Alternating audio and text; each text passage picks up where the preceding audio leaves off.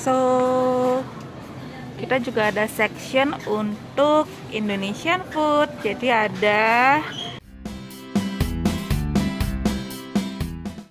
Hey guys, welcome back to my YouTube channel. Jadi hari ini kita mau jalan-jalan sedikit yo di Toronto, lihat-lihat gimana sih uh, selama COVID-19 pandemic ini apa masih rame atau agak sepi. Um, terus kita biasanya sih harusnya pakai masker, cuman ya pas kita ngobrol di sini aja kita nggak pakai masker. Oke okay, guys. Oh iya, kalau kalian masih baru di channel ini jangan lupa like, comment, dan subscribe for the next video. Soalnya kita bakalan banyak bahas mengenai Kanada di video-video selanjutnya. Oke? Okay?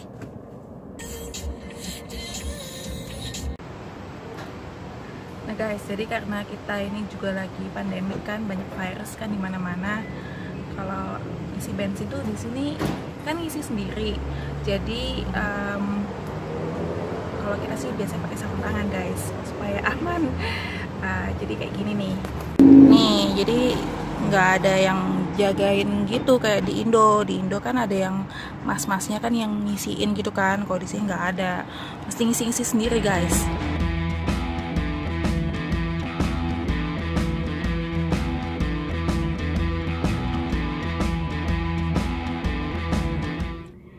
Gitu guys, di sini ini karena kita ngisi sendiri kan bensinnya kan lebih rawan kan uh, karena itu kan pegangannya uh, banyak dipegang orang macam-macam nggak tahu siapa yang megang gitu kan. Jadi kita selalu precaution lah istilahnya jaga-jaga jangan sampai kita tertular. Um, jadi kita selalu pakai sarung tangan yang sekali pakai aja. Jadi setelah ngisi bensin kita buang gitu loh. Uh, Oke okay deh, ayo kita jalan-jalan lagi yuk.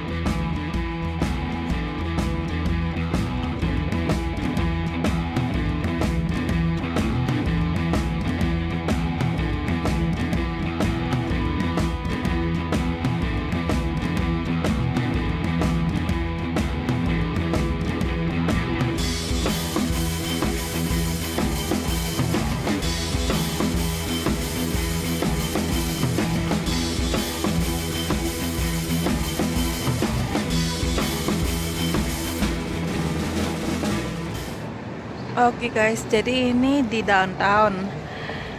Nah, ini namanya di Danda Square. Jadi ini mestinya kan kayak lapangan terbuka. Yang di seberang itu ada Toronto Eaton Center, semacam shopping mall gitu kan. Itu salah satu yang paling terkenal di Toronto ini. Tapi karena lagi pandemik ini jadinya lagi tutup. Nah di Danda Square-nya ini sendiri biasanya penuh banget, ramai banget karena kan ini lokasinya memang benar-benar di pusat kota. Cuman karena lockdown ini ya, jadinya sepi, agak kosong melompong terus banyak polisi yang berkeliaran, nggak tahu ngapain. Nah kalau kita lihat di sini ini kan juga banyak tuh kayak video billboard ya. Memang di sini nggak gede, cuman bisa dibilang ini ini kayak mininya Times Square-nya New York gitu loh. Cuman memang nggak heboh kayak Times Square gitu sih.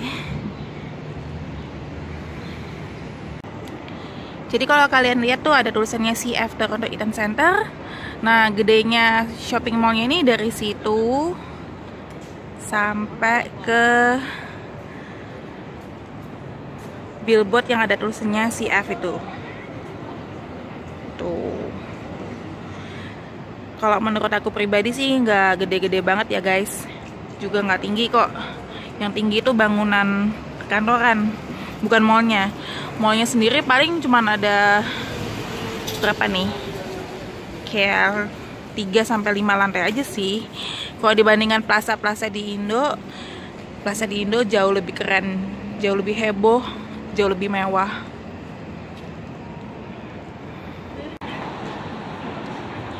Jadi ini kita lihat ya guys ya, banyak banget nih yang namanya construction di mana-mana.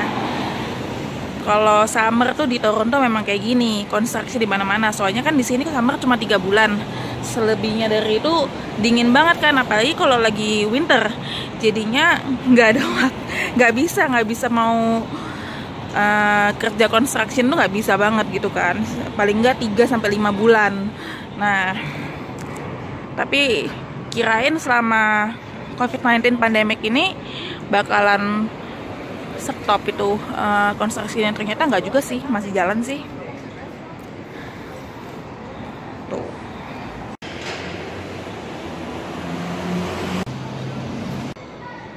Nah guys jadi ini salah satu jembatan yang paling fenomenal di Toronto ini. Nggak tahu kenapa pada standar banget sih cuma ini memang menghubungkan antara Toronto Eaton Center Shopping Mall itu.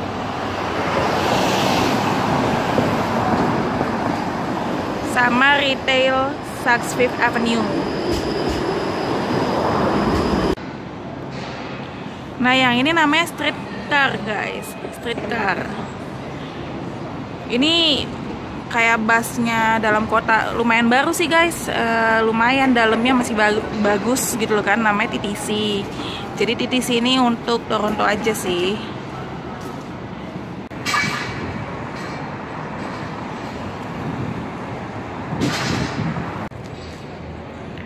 Nah ini City Hall yang lama guys. Jadi na dikasih nama Old City Hall. Jadi kita juga ada City Hall yang baru di sini bangunannya keren ya guys. Kayak bangunan di Eropa. Kayaknya nggak boleh masuk deh guys. Uh, soalnya lagi lockdown kan. Biasanya sih boleh masuk ini. Eh ada burung. Di sini nih burungnya banyak banget. Atau ya burung-burung sama bebek-bebek itu banyak banget yang berkeliaran gitu ya. Yang liar tapi nggak kayak di Indo. Kalau di Indo kan pada ditangkepin tuh terus habis digoreng. Kalau di sini memang hidupnya liar bebas. Soalnya kalau misalnya sampai berani ada yang nangkep kalau ketahuan bisa denda guys.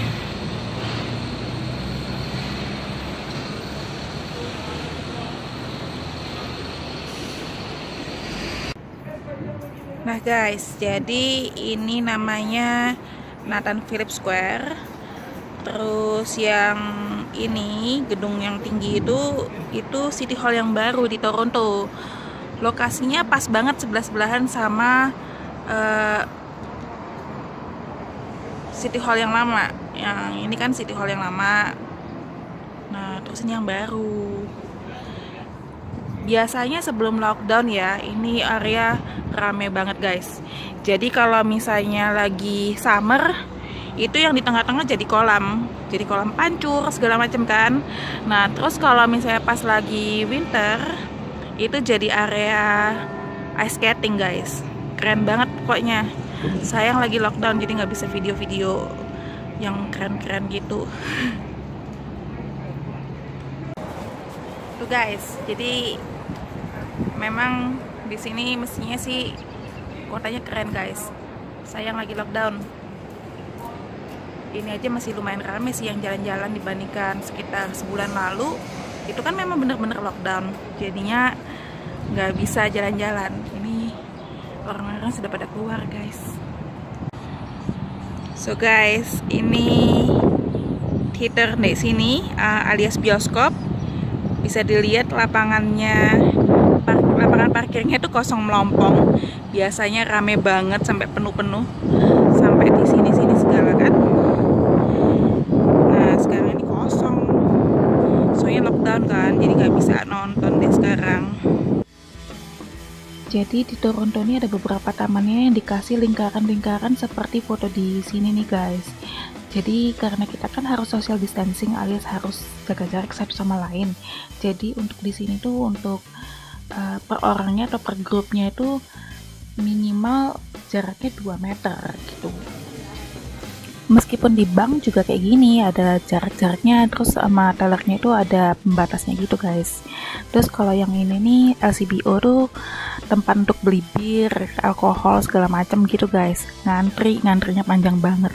Nah kalau yang novel ini ini supermarket jadi itu juga ngantri panjang. Nah terus ini saya lagi di supermarket lain nih guys Tuh lihat di belakang saya tuh rame banget. Semua orang pada pakai masker. So, kita juga ada section untuk Indonesian food. Jadi ada ini ABC ada suka ada ini macam-macam kan ada kacang ada bumbu-bumbu ada kerupuk juga. Jahe wangi. Ada jahe wangi ya kan? Kerupuk komodo di atas. Nah. Tuh. Bahkan kita di sini juga ada kecap. kecap ya kan? Terus waktu itu juga ada itu kan kalau nggak salah teh botol.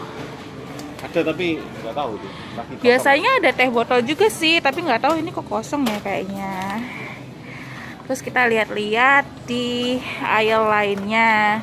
Di sini memang tempatnya kan uh, grocery store-nya untuk Chinese supermarket ya. Jadi berbagai macam Asian food ada di sini.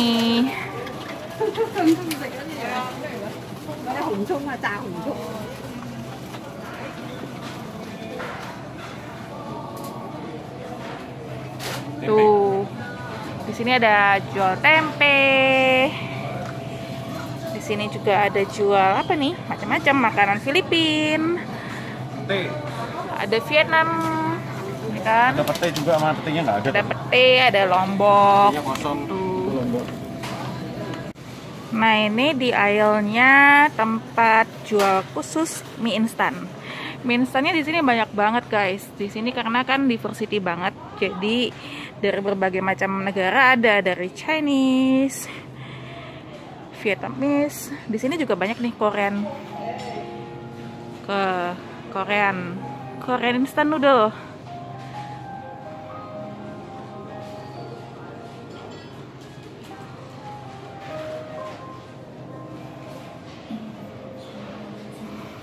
Ini Samyang Food yang terkenal banget tuh. Dan yang pasti juga ada dong Indomie. Indomie mah di mana-mana juga ada.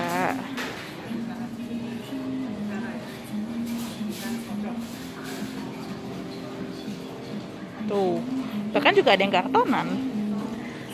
Asik kan guys?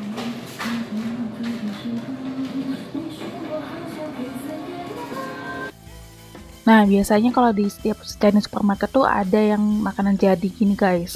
Jadi tinggal beli kan. Kalau misalnya kalian nggak bisa masak, jadi tenang aja sih.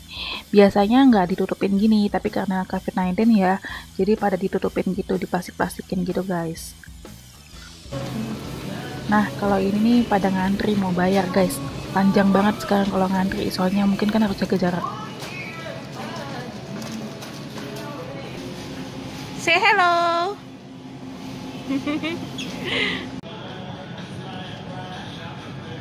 what you buying?